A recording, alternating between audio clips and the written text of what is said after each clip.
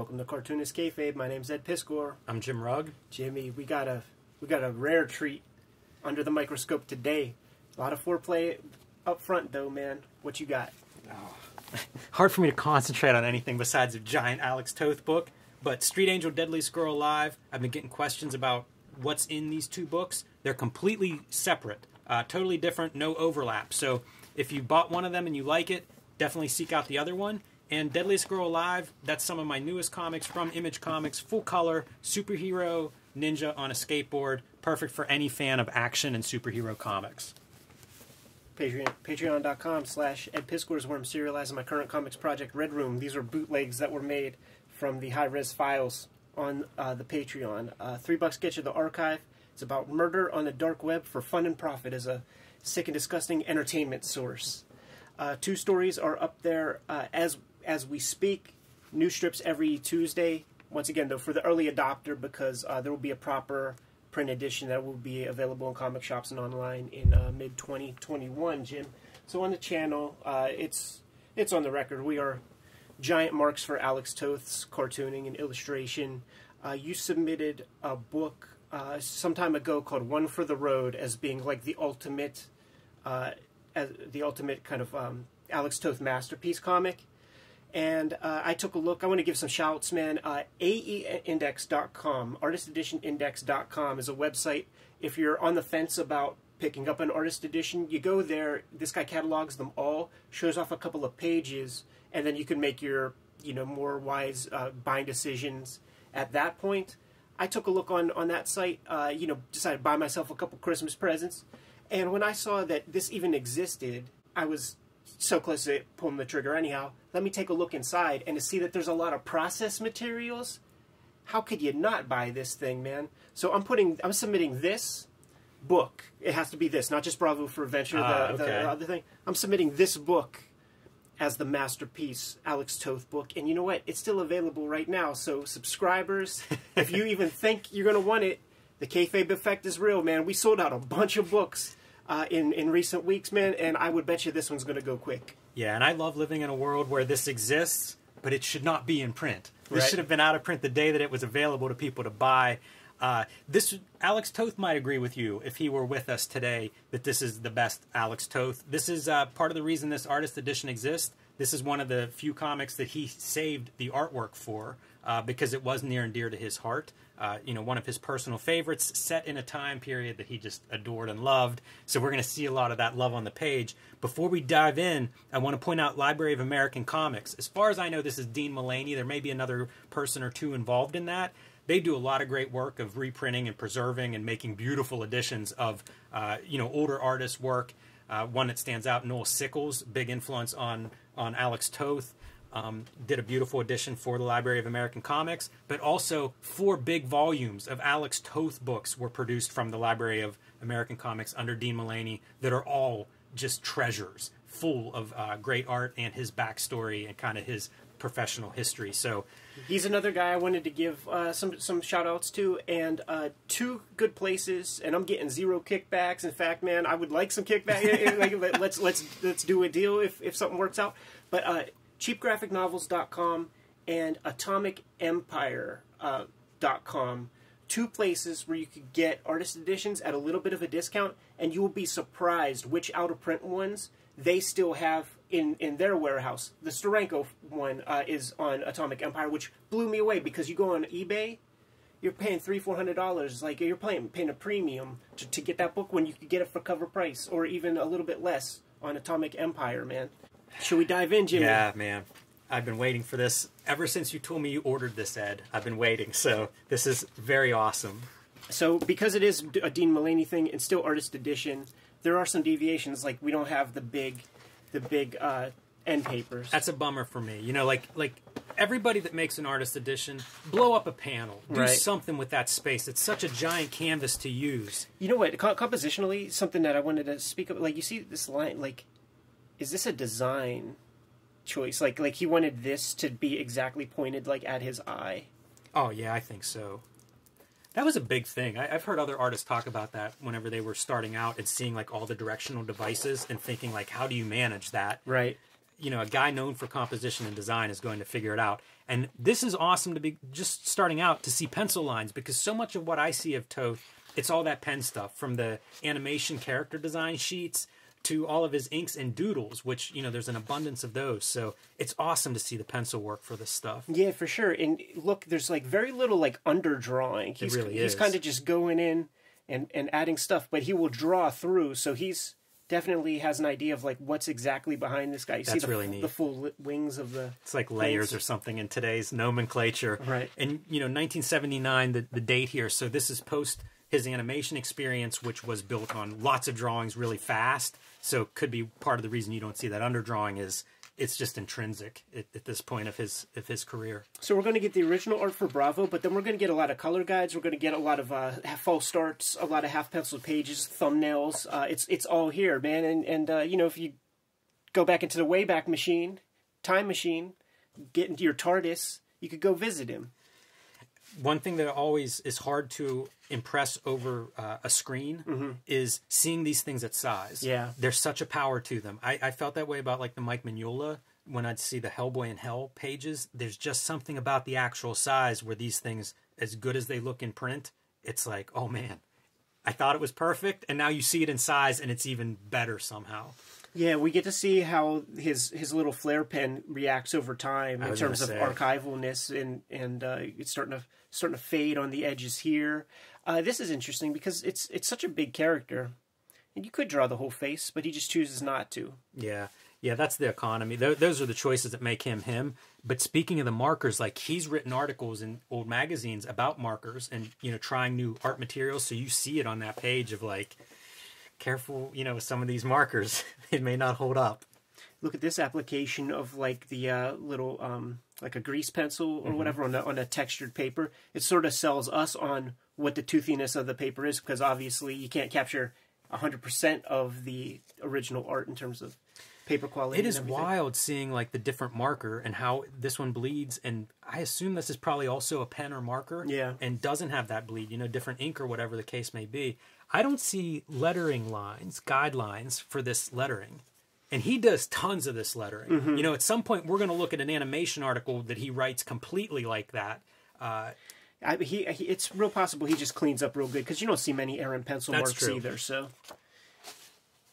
that would be just one step too far, man. If he's lettering perfect, He's a cartoonist that does a lot of lettering. You know, you see it all here. It looks great. But even if you look at like some of his DC comics and things like Black Canary, he does a lot of lettering. You know, at a time when most cartoonists and comic book artists aren't doing their own lettering, he does.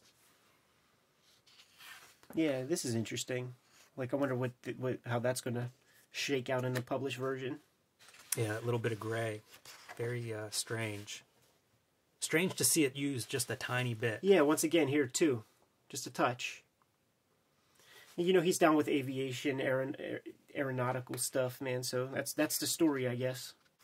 Yeah, I think of this as, uh, you know, you could almost put it next to Rocketeer or something for time period. This is incredible. Yeah. So he drew the entire uh, street across the street from the bar, and decided that you don't need that, man. You just so he whited all of that out, put the uh, the name of the diner or bar or whatever, and it just frames this guy perfectly. I love the airplane models hanging from the from the ceiling. They all have a, their own gravity to them that, that makes it feel that makes it feel real. I think that's one of the things that he has. That and Kirby had that where it was like things have a mass, they they feel like they have a weight.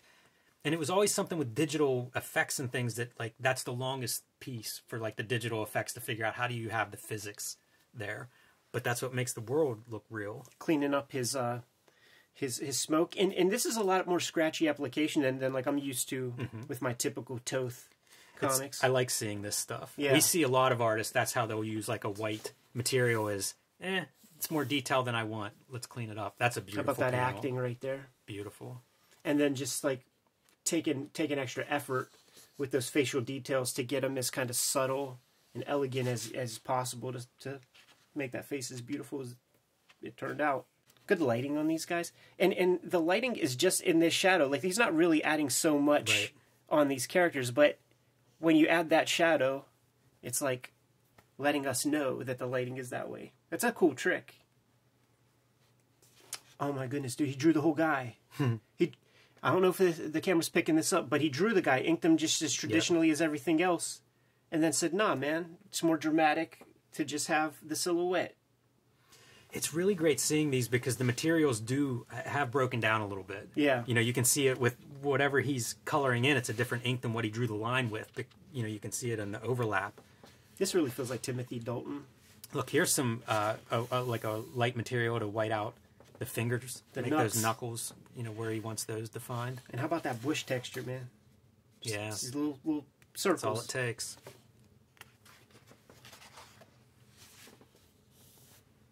And how do you make a car go fast? Get it off the ground. man. right. Get it the fuck off the ground. One of his great DC works, Hot Wheels. Yes. You know, like, and, and you know, the book that I submit as being a great one, one for the road, like, he could draw cars in motion really exceptionally well. All this stuff looks so painstakingly referenced. None of this looks sure made does. up. Not one of these things looks kayfabed out. That's what he criticizes, uh, you know, like like Steve Rude for in that Jonny Quest correspondence is uh, Faking. reference. Got to Yeah. reference this stuff. and and and he it seemed to be like uh, a kind of academic exercise for for himself too like when he's drawing these things like what he would say to, to Rude is like I now know where, where the hall is and the this and the that like so he's drawing the things just like uh, traditional figure figure drawing uh, classes they'll force you to learn the different muscles and stuff like wh- he would take that upon himself when he's referencing different objects So he's great with black and white and lighting. Here's a cool example. You have your desk lamp, so it's just like the guy's lower parts of his arms, and you can see that shadow go up. Unbelievable. Unbelievable. And then like the other thing that I always note is like where he where he like you know like has the hard pass when it comes to the lighting and like he's just letting these faces be illuminated so much. The body language. The body language, man. Yeah, All these characters all of the silhouette actors. stuff is really strong. So you know the stairs, perfect. They they look more complex than the drawing actually makes them. I mean that's a really simple drawing, but it reads as like realistic stairs. And then whenever he decides to use shadow on his figures, and you have the light background, this is 101 kind of stuff. Yeah. You, you feel you feel what's going on here, man. Like there's definitely uh, a very important destination at the very least. I really appreciate seeing his lettering like this at actual size. Sure. It's so distinct. You see so much of it whenever you look up his art. To see it, you know, in, in this, I mean, that's markers. Mm-hmm. Some of my favorite stuff in, in, in comics is when the cartoonist will give you give you a well drawn eye, but then go Right. polka dots every now and then. I'd be curious how this printed in Right. the final piece. So it's a very light, almost a white, uh, you know, China pencil or something. Not even sure what's making that. And it shows up on screen, those motion lines, but it's more gray, uh, certainly more gray than white, but maybe even closer to black than white. For sure. And same same effect here. You know, a That's chalk beautiful. or some kind of chalk or something to make those marks. This is a beautiful page with the nice ha ha close ups of faces. Yeah, the great acting. That that profile on that girl is perfect, man. I love the the texture of this like tweed jacket. This is something that you'll see probably as we continue to flip through the foreground object, its silhouette. Oh, look, there's some more of that. Yeah, I don't know what that is. But man, whenever it gets photographed and it has to be black or white, I, I am curious how, Yeah. how exactly it looks. This is great. This feels like something that you might see in Patience, Dan Clowes Patience. you know, Yeah. the- Nice pop arty piece, and he's able to actually with those shit markers get the flare lines, get the thick thin. That's a that's. A, it would be fun to watch him draw that, man. Oh, I'd, I'd love to see him draw. I wonder if any video footage exists of him drawing. That's cool. That is great. Holy shit, man! That, you're gonna see that in your nightmares tonight, Kayfabers. and then in my next comic. yeah, I love that character design. Just this little stuff, man. Like with the light shine off of that one. And by the way, we've seen a couple of these full moons. He's another. Uh, gotta love the full moon. the full moon, the car headlight, of course. But there's this character with that white face. Yeah. It's all bandaged up. Man with the getaway face. Use of white media on this debris, man. It really sells the speed of the car, like all this stuff getting kicked up. This is almost like a high uh, high contrast photo or something. it's it's amazing. Like looking at the pencils earlier on and seeing that he doesn't do much underdrawing. It's just like he knows where the lines are supposed to go. Toiling a little bit on Chris Farley, like right, like This is a great mouth and very expressive whole face and expressions. a little sandstorm kind of. He often does a very simple fingers. Uh, you know, like like a lot of cartoonists, you get knuckles and stuff. You look at like Marvel, DC stuff. There's a lot of laboring on them. Right. He'll do just. It's just open. It's just a shape. I find that interesting. That's something that I I do a little bit because hands are hard to draw. Like we, if you make comics, you probably spend a bunch of time trying to figure out hands and drawing them. Right. And he really does some stuff that was not typical at the time for for fingers. Look, he's able to pull off black foreground, black background figures. I'd be curious to see this in print from the time period because it's real possible that that looks different now than it did when he drew it Right. due to the bleeding of the markers. This is amazing. All this movement. How much? I mean, if you told me that was a Mike Mignola sort of page, I'd believe you, right? I, the compositions, the page layouts, very much in line, and that's spectacular for abstract stuff. The smoke to work that well, incredible, incredible, man. Look at look at the scene and everything you have on display there. It's a setting sun hitting the underside of those clouds. Check out that panel. I like this kind of stuff. I do this where it's like try to figure out where to put your lettering. Right. It's like part of the panel, have that space put in there. And also, by the way, man, this is this is lettered on the page, so there, it's like you gotta you gotta have some confidence, man. Where to where to where to end those things, man. How far to, to bring the words down. Like there's a lot of arrangement that that goes into that, and I think we will see some pages where uh, he pencils the lettering. That's good. Yeah. Here's some adjustment of eyebrows with that white cover up medium. A lot of lot of little stuff, man. Uh, friend of the show, Brian Moss, Columbus, Ohio. He he owns a couple Toth pieces, and there will be like a complete drawing on one side, like a lot of uh, you know more detail than what the final piece would be. You know, like he really will draw a lot and then just take a lot out. So things like this, he thought he thought twice. And I wonder when he decides on that. I wonder if he draws the page and then puts it away for a while, gives it a good once over before it's time to go to press, and then makes those other adjustments, or if he does it in real time as he's drawing, like, ah, oh no, that's no good. Yeah, I don't know, but man, that's a nice page. You get a lot of great Toth stuff from the lettering effects, good figures, and then like, I like this composition. It's it's kind of I don't know why that strikes me, but it's really neat, and it's kind of neat to see her head positioned at the top of the panel. You know, normally I think you would get a head somewhere in the middle with the word balloons above it. Jimmy, I got some new stuff I'm going to be stealing, man. Rounded glass on the ground. Nobody does that. Everybody draws flat ass glass. You have a round bottle and you smash it over somebody's head, cut to the ground. It's all flat glass. I feel like that would you could use this in Red Room. Yes. somebody could do something creative with that. Yes.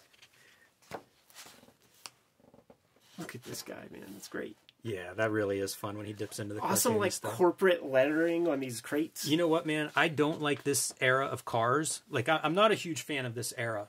This is my favorite car I think I've seen depicted like this. It has such mass and weight and volume. Wow. Really like the scale of that. Whole world going on behind the main characters. How about that for a choice of no background? Those two characters walking out of the shadow. Yeah, yeah. It's got to be. Everything is in the words on that panel. All right, 1982. So a few years later. Yeah. Look at the lettering. Oh, I know. That's a pretty interesting panel. You know, for at for a guy who's great at lettering and design, like he's doing some really out there stuff. Oh, dude, you you just wait till you see this. Every page of this is going to be that energy. So I don't know how well this is showing up, but these have faded considerably. Like these are very light gray. Some of these marks, which you know, got it has to be just due to the marker material that he's drawing with. Right. Like, look at this, man. It's like a Frank King gasoline alley. Like, we're gonna, you know, go to the art gallery and. Bizarre. Oh yeah, it's like a funhouse mirror kind of gimmick. Yeah. This really is like there's there's like a very specific Frank King Sunday strip where he takes Skeezix to the to the uh, to the Met or something to go check out a bunch of art, and then they get launched into the paintings. Like, look at this. Yeah, dude. that's amazing. that one is awesome, That is a wild page. Unbelievable. Got some more Gestalt going on here. Just So much fun to see him completely in control, like working from his own imagination as opposed to a script, dealing with an editor or anything like that. Wow, look at the line. Like it's an abstract element in the middle of a, you know, somewhat realistic comic. and it's it's dude it's the juxtaposition it's like look at this man it's a it's like a puddle jumper. And then we're mapping its its territory lands and then a fly swatter comes Yeah. down. And and like this plane in the far off distance is like a fly. That's a freaking amazing page man. All these fly swatters are some some metaphor happening jim. And then all the patterns are always really great. You know, animal skin kind of organic like patterns here, but then turning the stars into patterns and then breaking those into like objects. The body language and weight of this little guy is so perfect. Little yellow kid. This is a, such a peculiar. I've never seen this piece before, so this is just new comics for me. Right. So peculiar. I felt like like some Hugo Pratt in here. It's all wild. I, I've never seen a lot of this stuff, and it's just, just wild images.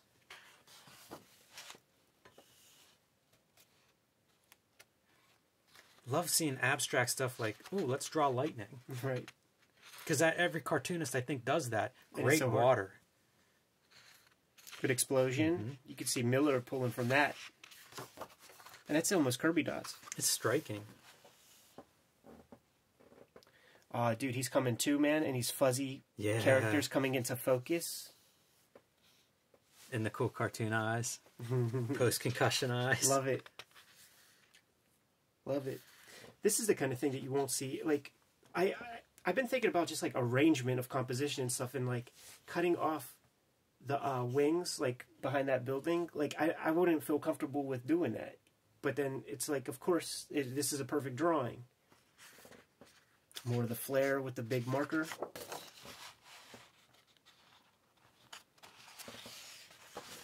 Now we're getting into some stuff, mm. Jimmy. We're getting into some stuff. Proto pages. This is awesome because we see the lettering in pencil, but you know what we don't see? Any Guidelines. guidelines. Yep. it's unbelievable. Yep. It is amazing how few lines he uses to, to draw this stuff in. Just even looking at this full start hand with the holding the uh-huh. phone. Just the it's all there, man. And there's no underdrawing. wow. Doesn't that look Mignola-ish too? By the way, like just.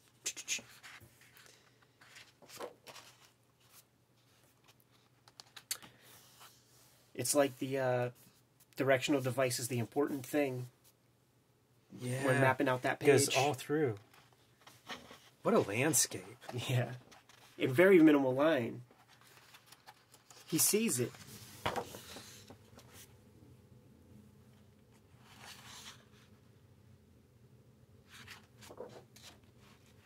This kind of stuff is really amazing to see. I love it. I love the stuff. It's one pencil panel on Right. a page, like just pieces. I just imagine somebody has a box of his art. The scraps that he saved. The old coquille board.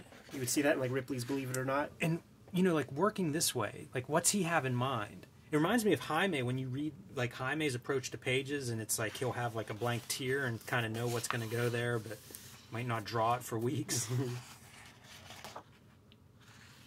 And it's like Sunday funny treatment or something. Some weird format. he did some like like ufo stories and things that you can find like flying saucer stuff and i guess it probably stems from his love of aviation but Yeah. you get some of these like you know like that looks like one of those airplanes it's a little bit odd atypical for where air, airplanes develop towards but then you'll see like his outer like his flying saucer ships and it's the same deal like you can almost see where you just push some of these stranger designs even further Right. Like I said, that article on pens is fascinating because he goes through and lists like ten of them and like ten felt tip pens. So he was constantly playing with that stuff. Look at Yeah. this shit, man. This is like the script. Wow, that's cool. These perfect little thumbnails. Figuring out these ships. Yeah, and that's like eight and a half by eleven. You know, like a piece of uh, typing paper. You're right. Something that he's drawing on. So now everything that we just saw, like these are the uh, the color guides, Wow. or maybe it's the the actual color, you know, that it's printed on, that it's printed from. I, d- I never saw the actual book. Super cool. Yeah, I think those are color guides because that one page had like paint, like paints on it. Yeah, you know what though? Like this might be an overlay of the black line. That's possible, yeah. Yeah, and like that would be for your foreign editions, Right. Separate, separate layer for uh, lettering. Uh, there's oh, dude, look at that, man. The background is in there uh, during that piece. Is he is he fucking with his drawings like for himself? Like, oh, you know what? I never liked that.